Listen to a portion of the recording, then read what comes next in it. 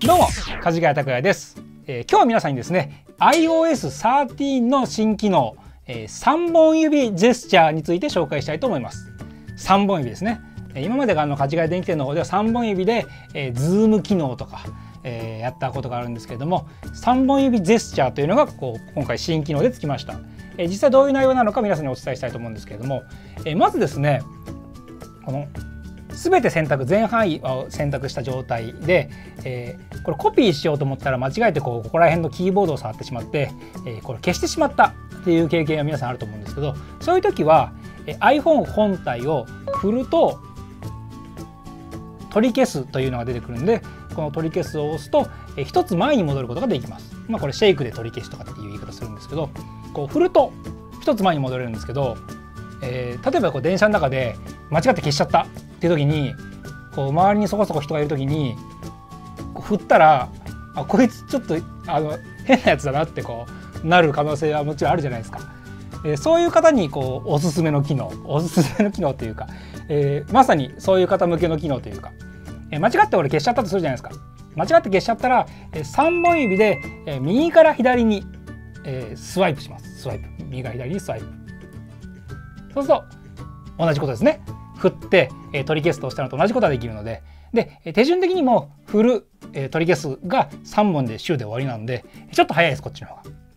で、えー、今度逆に、え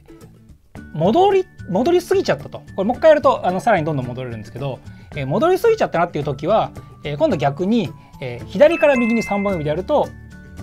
やり直すという。一つ先に進む。一つ前に戻るっていうのができますので、えこっちで一つ前に戻る。こっちで一つ先に進む。みたいな感じですね。を、えー、覚えておいてもらったらこの3本指ジェスチャーまず、えー、スワイプ、えー、左から右右から左。で、えー、一つ先一つ先でどんどんどん先に進めるし、えー、どんどんこう前に戻れる。っていう機能があります、これが3本指機能ですね。で、えー、もうわけわかんないよって人。わけわかんないよって人は、えー、3本指で1回だけ画面をタップします。1回だけ。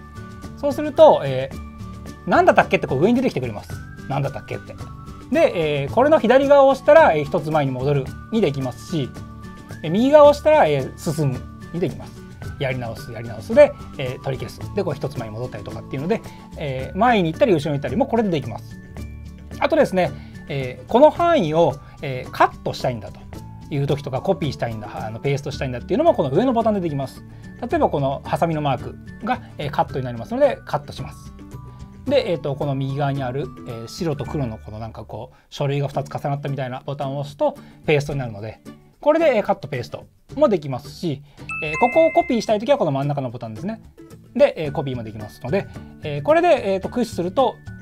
そこそこ便利にできるんじゃないかなと。でここからは、えー、誰が使うんだよこの機能を紹介したいと思います。3本指ジェスチャーの。あのまあ、人によってはあのそっちの方が便利っていう人もいるので、えー、その方にはちょっとあの失礼なことを言いました今。で、えっと、どういう機能かっていうとこの言葉ですねこの言葉を、えー、コピーしたい方いますよねコピーしたい方。コピーしたい方は、えー、3本指で、えー、ピンチインっていうんですかねこの3本指の場合はちょっとこう名称が分かんないですけど、えー、3本指で内側にこう寄せてくる感じでコピーができます。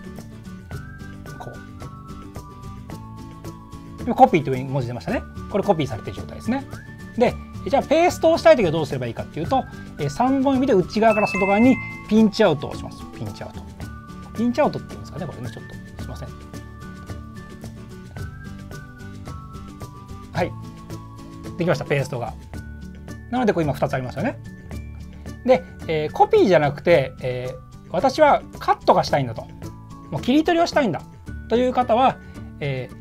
3本指でピンチンを2回やります。ちょっとハードル高いですねこれ。この範囲だと。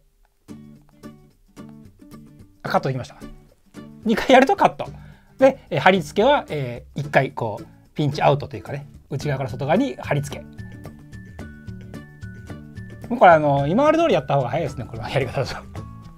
という、まあ、あの3本指ジェスチャーがとりあえずつきましたので、えー、まあ、取り消すやり直すぐらいは、えー、すぐできるので、えー、これを取り入れていただいてあと3本指で1回タップでメニュー出してやるっていうのは、えー、すごくいいかなと思うんで、えー、これでやっていただいて、えー、あとは、えーまあ、暇になった人はまあ3本指で広げる縮めるみたいなことをやるといいかなと思います。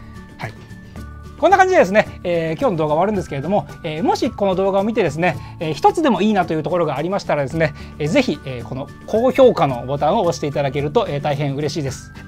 えー、こんな感じですね、えー、梶ヶ谷電気店の方では、えー、iPhone とか、えー、家電製品全般の情報を提供してますので、ぜひチャンネル登録の方よろしくお願いします。ではまた。